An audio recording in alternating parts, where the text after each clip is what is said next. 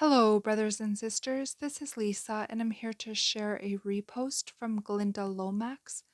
The title is Guard Your Minds, and this was originally posted October 17th, 2015.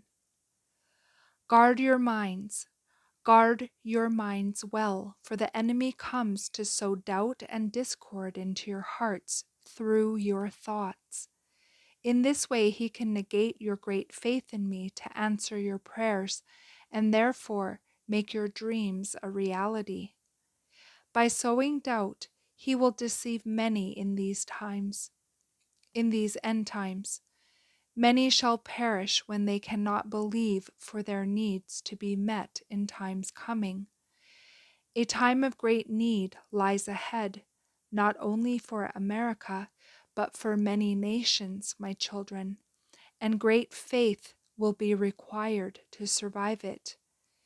In my spirit, I saw a great famine and no jobs. Something had happened to all the industries as if they could not function.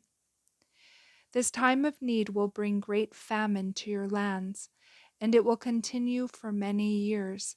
You cannot store enough food to get through it, for it is very long. Many thousands will perish in this time, but I shall care for my own that have faith, faith to believe me for what they need to come miraculously. In this time, the enemy will indeed gain many souls, because the love of my body will fall away. Because I do not stop the famine, they stop believing. Scripture must be fulfilled, my children. Though this world and all in it pass away, not one jot or tittle of my word shall pass away. Guard your minds and your faith. Rejoice in your trials, for I am preparing you by increasing your faith now for what is to come, because I love you. And that is the end of this message. I pray you all have a beautiful day in the Lord God bless each and every one of you, and I will see you either next video or in the air. Bye bye.